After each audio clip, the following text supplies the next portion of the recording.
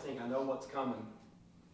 Notre Dame wasn't really disguising a lot of it, and, and still not be able to stop it. Yeah, uh, it, it was tough. You know, you try to respond and you really do all you can, but at the end of the day, they just they were just a better team, and uh, so we just gotta we gotta take this loss, watch the film, study it, see what we did wrong, and just move on to the next game, move on to Louisville, and uh, just but you know it, it does hurt, but we can't dwell on too much. Just gotta watch the film, just get ready for the next game. Do you feel like it was more just guys getting knocked out of gaps, wrong run fits, execution type things, or more what Notre Dame was doing? I think it was it was really more on us. We had to be more disciplined with our gaps. Uh, no one needs to be a superhero. I'm not talking about anyone in general. Just just do your job, and the plays will make themselves. Um, but we just got to be more disciplined as a defense, stay in our gaps, and um, and then we'll stop them. And we just we weren't doing that, so we just got to move on. How, how, how hard is it to just get physically dominated to the point where everybody in the stadium knows what they're going to do, and they're still doing it like on third and long, running right between the tackles? As a, I mean, as somebody who has a lot of pride in your defense and what you thought you guys were going to be, how difficult is that to, to take? Yeah, it's tough. Um, it's really, you know, during the game, you try to make adjustments, and uh, at the end, as I said, at the end of the day, they're just better, the better team. So uh, again, we just got to watch the film, uh, get better, and um, it hurts, but you know, there's nothing we can do about it now. Just learn from our mistakes, move on to the next opponent, which is Louisville, and just you know fix some mistakes and translate it to the next game, and just dominate Louisville and dominate the opponents that we're going to be playing up next. Barrett, do you think you guys, as much as it hurts now, do you think you guys can get back in that college football playoff conversation if you do your job and finish strong? Of course, and we're never losing faith. You know, we know what our goals are as a team, so that's that's always going to be the end goal. So this this loss that we just took, we're not. It's no demoralization uh, like throughout the team. We're still focused. We still know what all we can accomplish. All of our goals are still on the table, and you never know what can happen in the whole like throughout the whole college football. So we're just gonna keep we're just gonna go to work and whatever happens happens. But we're we're gonna keep fighting as a team and just finish as strong as we can. What have you out of Louisville's offense? Obviously, you know Cunningham's a, a dynamic player. What what do you know about him and what have you seen from their offense so far this year? For sure, they have a lot of athletes on the team. They have a good O line, good backs. Obviously, Malik Cunningham's a very dynamic, athletic quarterback. Probably one of the most, if not the most, most athletic that we're going to see. So again, we try to be disciplined in our run fits, uh, in our in our gaps. Um, don't try to do too much. Just do your job, and everything will fall into place. But um, you know, they're they're going to run the ball early downs. They're going to take shots. So if we just do our job and just play Clemson defense, and we'll we'll handle business. I guess how disappointing is it that it's literally just guys just have to do what you're told to do and just do your job, and, that didn't happen? I guess why do you think that happens? Uh, I mean that's that's tough. You know, they they just they just dominated us. They were the better team that day. Um, t- I tip my hat to Notre Dame. You know, they're a well coached, historic, great program, and they they had us they had us all it up uh, on Saturday. So I tip my hat to them. They had a great plan for us, and we just we at the end of the day we couldn't stop it. So you know I tip my hat to them. We have to get better, and we have to just watch the film, move on, and just move on to Louisville, and we will do that. This linebacking corps has sort of taken some lumps this year, as first year starters in the current positions, it give you greater appreciation of guys like Skalski and Spector who had that institutional knowledge built up over years and years of, of knowing exactly where to be and precision and things like that, and uh, uh, in the areas you're talking about, like the run fits and such. Yeah, so having them was, you know, they made everything so much easier, and they they were students of the game.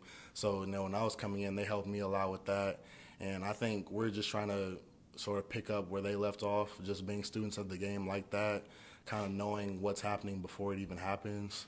So, um, of course, we're still working every day to get better and strive to just, you know, keep being students of the game, um, keep learning what offenses are going to do so we kind of know what to expect, just like they would, just like Skalski and Baylon would. But, you know, they, they taught us a lot. So we're just trying to we're just trying to learn from them and pick up where they left off, especially being students of the game like that. This is another quarterback that, can't let him out of the pocket. If he does, he can take it. What kind of challenge does he present? You definitely have to be on your toes every single play, know where he is, uh, make sure if it's like an option play that he for sure gives the ball because if he pulls it, you know, he can make a play with his feet. So it's just going to take a lot of discipline from the defense, uh, good eyes, good technique, and just being smart. But uh, really, good eyes is the main thing, knowing who has the ball and being sure of that. Because if he pulls it, he can make a big play and he can he can take it to the house. So as long as we just stay on our p's and q's, we, we should be fine handling. Has have you watched any of the film from Notre Dame yet? I mean, how difficult do you feel like it's gonna be today, just going through all that again?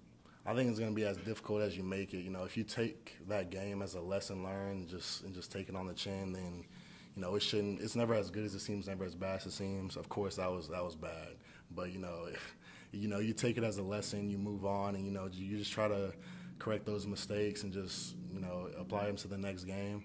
So yeah, I watched the film. Yeah, it wasn't pretty, but you know, it's nothing we can do about it now. Just try to move on and just not make the mistakes in the next few games. How do you mentally reset and prepare for Louisville? Uh, I just I just rest really.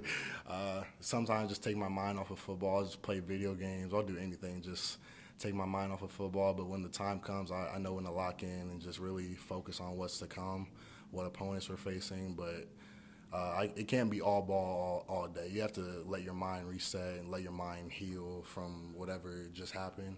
So I've just I've rested, but now I'm attacking Louisville. I watched the game. I'm you know, we're putting that to bed soon. So I'm just I'm on Louisville now though.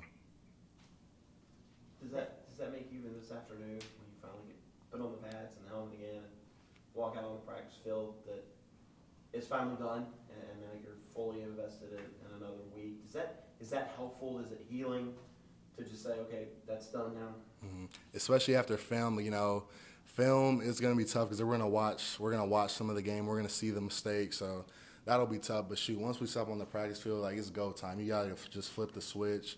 Just know that we're on to the next opponent, and um, there's nothing we can do about the last game, but just move on and try not to make those mistakes again.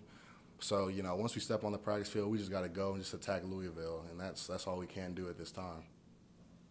Eric, you, can you guys draw on the fact that, I don't know, two years ago you lost at Notre Dame and then came back, beat them in the ACC title game. Last year, four and three, finished with six wins. Can you draw on some of the resiliency you guys have shown in the past? Yeah, we're definitely we know we know the feeling that is losing when we don't like that feeling. And um, last year's team, we have a greater appreciation for all that it takes to win. And no matter who you're playing in college football, winning is hard. And that's that's playing teams at the bottom, teams at the top. Winning is hard to do. It's so much mentally, physically, emotionally that goes into the game of football. So you know, last year's team, we are we we learned how to persevere. We learned how to get through all the adversity.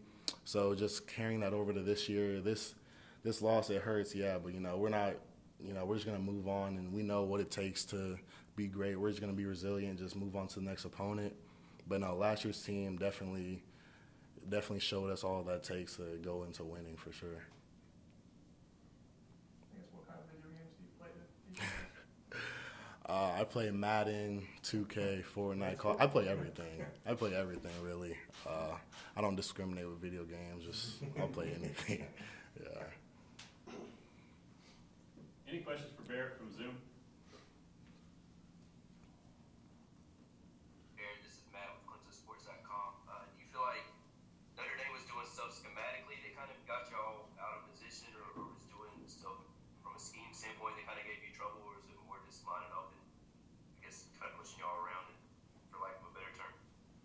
I think at the end of the day, they they just dominated us. Uh, I don't think they did anything um, too spectacular to win the game. I think they just dominated us, and we can't allow that to happen going against any opponent.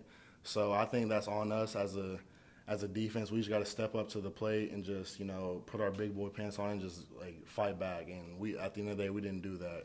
So I don't. Uh, I, again, I tip my hat to Notre Dame. They played a great game. They had a great um, plan for us, but we just have to play better as a defense, and we didn't do that. Hey Barrett, this is Anna Adams with Clemson